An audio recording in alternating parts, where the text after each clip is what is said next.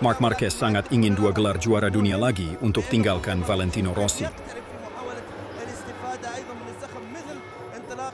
Mantan pembalap MotoGP, Alex Hoffman, memberikan analisis tentang apa yang ia harapkan akan menjadi salah satu tim terkuat yang pernah dimiliki Ducati pada kejuaraan dunia. Ekspektasi untuk melihat Francesco Bagnaia dan Mark Marquez di garasi yang sama dan melihat bagaimana hal-hal akan berkembang semakin meningkat. Tampaknya pembalap Spanyol itu sudah membuka jalan untuk musim mendatang. Uh, um,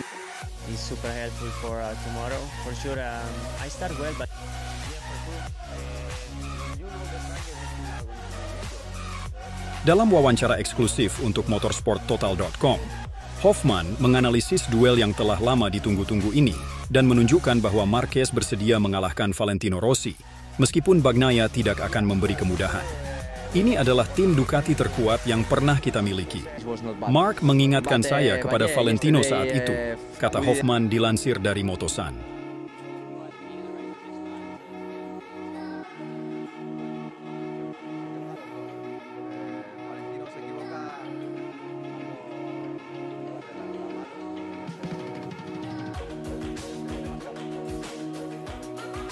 Diatonius Naimana membuat langkah yang tepat pada waktu yang tepat. Kemungkinan berakhir harmonis sangat rendah.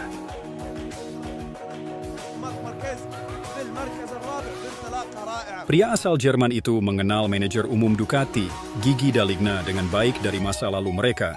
Saya tahu betapa bersangkut paut cara berpikirnya, karena itu ia mengakui bahwa pilihan Marquez alih-alih Jorge Martin sama sekali tidak mengejutkannya, ujar Hoffman. Sudah bisa diduga bahwa ia menginginkan Mark di timnya.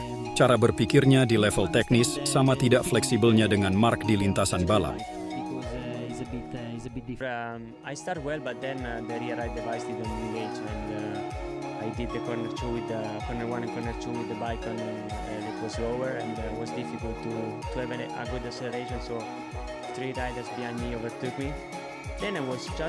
Jika Bagnaia menang musim depan melawan rival utamanya dengan skor yang sama, ia pasti akan meraih status teratas pada MotoGP, meskipun Hoffman tidak yakin ia memiliki karisma yang diperlukan. Dia terlalu manis untuk olahraga ini. Untuk dianggap sebagai pahlawan sejati, ia membutuhkan karisma Valentino Rossi, Marco Simoncelli, atau ketangguhan Mark, tetapi ia tidak memilikinya, tutur Hoffman. Ia adalah salah satu pembalap yang paling sopan. Secara tidak sadar, Anda memperhitungkan hal itu dan bertanya-tanya apakah dia tidak sehebat itu dan hanya menang sesekali berkat motornya.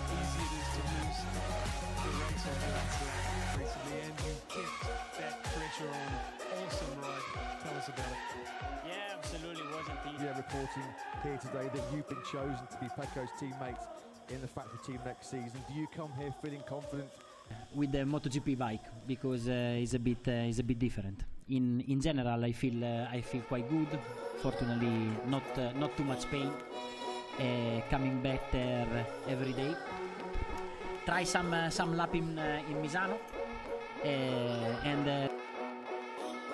the session I was not on the level on Q1, but I was in the. Yeah, for sure. when you know the track, everything are Peko benar-benar setara dengan para pembalap hebat, ujarnya menegaskan. Salah satu pembalap yang sangat memahami apa artinya bertarung dengan Mark Marquez dan dapat memberi Bagnaia beberapa nasihat adalah Valentino Rossi. Peko memiliki banyak kesabaran, tetapi dia juga bisa meledak. Ada situasi di mana dia jelas ingin menunjukkan bahwa dialah bosnya. Portimao adalah salah satu situasi tersebut, ucar Hoffman. Namun Marquez masih haus akan gelar. Semangat kompetitifnya tidak pernah hilang. Jika iya, dia pasti tidak akan berjuang keras untuk kembali ke puncak. Namun dia tidak bisa lagi berjudi terlalu banyak terjadi dengan lengannya, atau dia bisa kehilangan segalanya. Mark sangat menginginkan dua gelar dunia lagi untuk menyalip Valentino Rossi yang hebat dalam statistik, kata Hoffman. Dia harus lebih banyak menghitung daripada yang dia lakukan lima tahun lalu, ketika dia menginginkan kesuksesan dengan segala cara. Saya akan mengatakan bahwa dia memiliki peluang untuk bersaing memperebutkan gelar dunia tahun depan. Sangat bagus untuk kejuaraan karena kami hanya memiliki tiga pabrikan Ducati tahun depan, ucap pria 44 tahun tersebut.